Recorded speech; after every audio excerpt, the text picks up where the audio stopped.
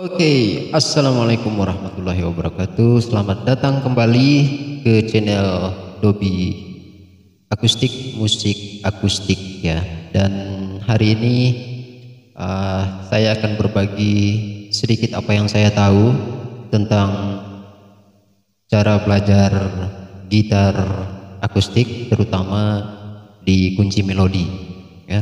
Oke, tanpa panjang lebar kita tengok videonya bareng-bareng. Ini A. Jari telunjuk senar satu di kolom 12 tepatnya di titik dua ini. Tepatnya di titik dua ini. Nah.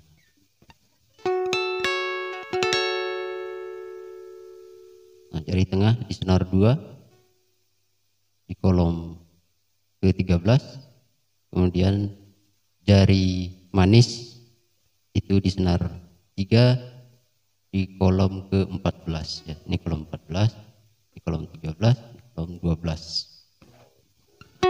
Ini A. Nah. Kemudian tadi D minor. D minornya di mana?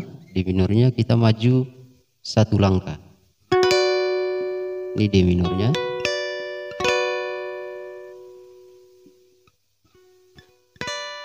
Oke, diperhatikan ini D minornya. Ini tadi A ya. Jari telunjuknya tepat di senar satu di kolom titik dua ini. Ini.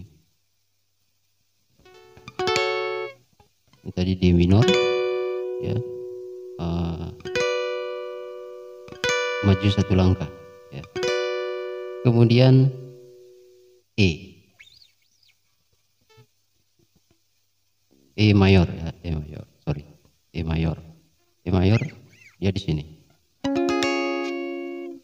Cara megangnya kalau semua tangan nih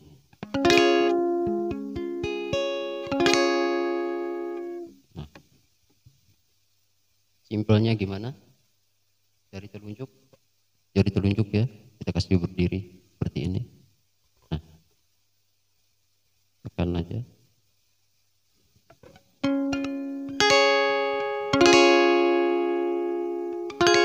Jari telunjuk ini menekan senar satu dan dua ya.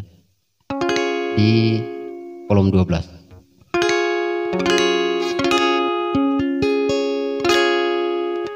yang diketik cuman dari senar 4 3 2 1 oke kita ulang. Ini A.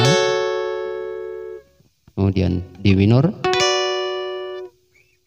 Kemudian kembali ke E mayor